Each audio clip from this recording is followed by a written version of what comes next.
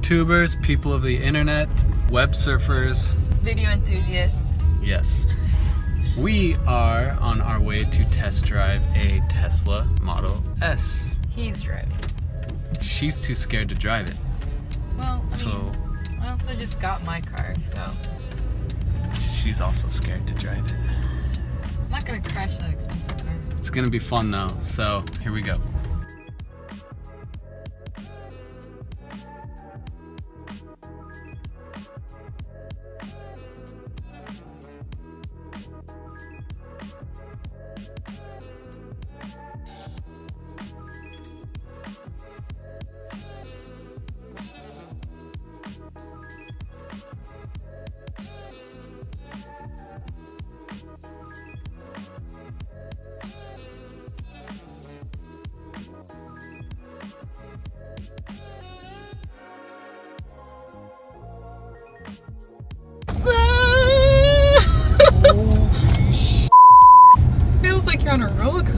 That is insane, dude.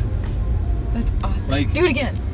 All right, so we just got back home from the test drive. Yes, we did, and the Tesla is cooler than I thought. That's crazy because you thought it was pretty cool before we even Yeah. went. I've done a lot of research on Tesla, but it's just cool because there's certain models where you can raise and lower the suspension. It's got heating and cooling seats. The summon thing's really cool. So if your car is parked tightly in a spot and you don't want to like wedge yourself in there to get in your car, I you do just that all the a- time. Yeah, you just press a button and the car literally backs out of the spot by itself. It has sensors Yeah, and without anybody even at the wheel, it just backs it up. And there's a lot of cool stuff that's coming up with Tesla. Like you'll be able to summon your car if like if you go to a restaurant and you're like two miles away from your house, you can park your car and then tell it to go home and the car will literally drive itself home and then when you're done eating, you just summon the car back and it drives right up and you just get in and so weird. it's it's like mind blowing, but and the car is so fast, it's insane. Like I've driven Lamborghinis and Ferraris and all that stuff. This car, it's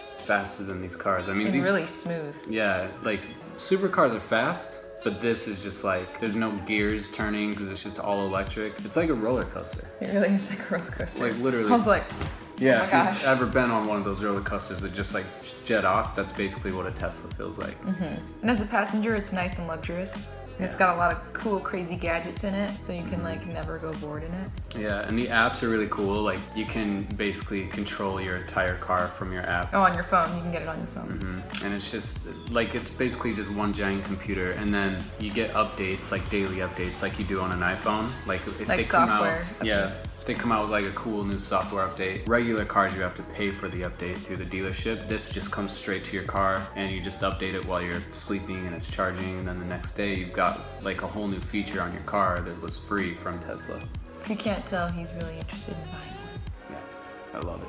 I love it. It's my next car. And I love my Volvo too. Like I think if I got a Tesla, I would still keep my Volvo and just put it in storage or just use it as like a Sunday cruiser. Well, if you like this video, give it a thumbs up and subscribe. Comment below anything else you'd like to see us do. And until next time, we actually have to go to work.